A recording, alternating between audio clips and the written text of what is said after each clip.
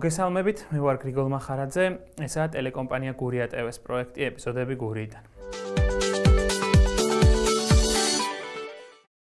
1900 წელს გურიის სოფელ ზედუბანში აღმოჩნდა ვერცხლის ორი პოლონური მონეტა. 1958 წელს ასეთივე ორი ვერცხლის მონეტა პოლონური აღმოჩნდა სოფელ ჭანჭაჩში. ხოლო 1979 წელს მაკვანეთში თის უბან შოტოულაში აღმოჩნდა 4 მონეტა, ასევე ვერცხლის მონეტები პოლონური, სამი მათგანი ერთნაირი იყო, ხოლო ერთი განსხვავებული სახისა. სამივე ამ სოფელში სხვადასხვა დროს ნაპოვნი მონეტები რეჩპოსპოლიტაში, ანუ პოლონეთ-ლიტვის თანამეგობრობაში მოჭრილი მონეტებია და ისინი მოჭრილია 1622-1624 წლებში. სიგიზმუნდ მესამე ვაზას მართლობის დროს.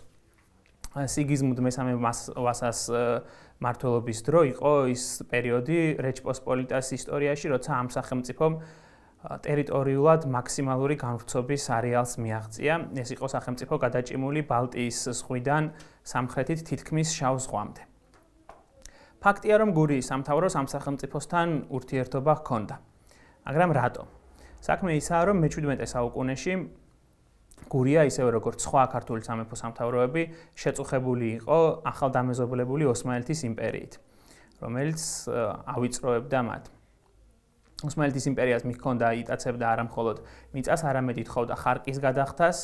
ამ მისი ახლო მეზობლობის გამო ასევე აქტიურად იყო გავრცელებული ტყვეთას წყიდვა. სწორედ ამიტომ გურიის სამთავრო ეძებდა მოკავშირეებს რომლის ერთ-ერთი ფაქტის შესახებ ჩვენ წინა ეპიზოდში ვისაუბრეთ. ოსმალეთის იმპერიას მე-17 საუკუნეში სერიოზულ პრობლემებს უქმნიდნენ კაზაკები, რომლებიც სწორედ რეჩპოსპოლიტას მიერ კონტროლირებად ტერიტორიაზე ცხოვრობდნენ დღევანდელი უკრაინის მიდამოებში. ისინი კარგი ზღვაოსნები იყვნენ, თავს ესხმოდნენ ოსმალეთის იმპერიის გემებს შავ ზღვაზე, აწიოკებდნენ ოსმალეთის იმპერიის ზღვისპირა ქალაქებს. მეტიც ისინი კონსტანტინოპოლის გარეუბანში მდებარე პატარა დასახლებებსაც კი დაესხნენ ერთხელ თავს. გურიის მთავრებმა ეს ხელსაყრელ მომენტად მიიჩნიეს და მათთან კავშირი დაამყარეს. პირველი ცნობა გურიის სამთავროს რეჩპოსპოლიტასთან და კაზაკებთან ურთიერთობის შესახებ 1627 წლით თარიღდება. ესაა იტალიელი მისიონერის პიეტრო დელა ვალეს წერილები რომის პაპ ურბან მერვესადმი. პიეტრო დე ლავალე მოგზაურობდა ოსმალეთსა და სპარსეთში და აქედან აწვდიდა ცნობებს რომის პაპს. ის პაპს ამცნობს, რომ დასავლეთ საქართველოს ტერიტორიაზე მდებარე სამეფო სამთავროები, ოდიშის სამთავრო, იმერეთის სამეფო, გურიის სამთავრო, ოსმალეთის მოხარკეები იყვნენ, რათა საკუთარ ქვეყნებში მშვიდობა შეენარჩუნებინათ, თუმცა მიუხედავად ამისა, მაინც ამყარებდნენ კონტაქტს კაზაკებთან და ის იყო ორმხრივად მომგებიანი ურთიერთობა.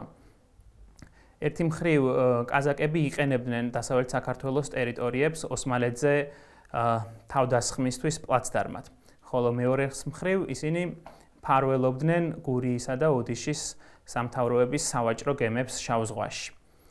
ასე რომ ჭიდრო ურთიერთობები არსებობდა მე-17 საუკუნეში, არსებობდა მიმოწერა რეჩპოსპოლიტასა და ადგილობრივ მთავრებს შორის, ახდებოდა გემების მიმოსვლა, ხდებოდა შერეული ქორწინებებიც კი და 1654 წელს გურიის სამთავრომ კაზაკების დახმარებით გონიოს ციხის აღებაც კი სცადა და მისი გათავისუფლება ოსმალური გარნიზონისგან.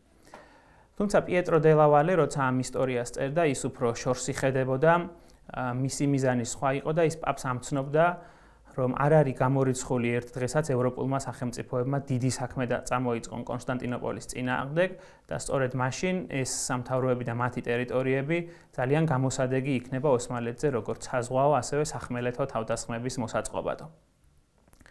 მიუხედავად ამისა, შემდგომში ისტორია მაჩვენა, რომ ევროპულ სახელმწიფოებს ასეთი დიდი საქმე არ წამოუწყიათ.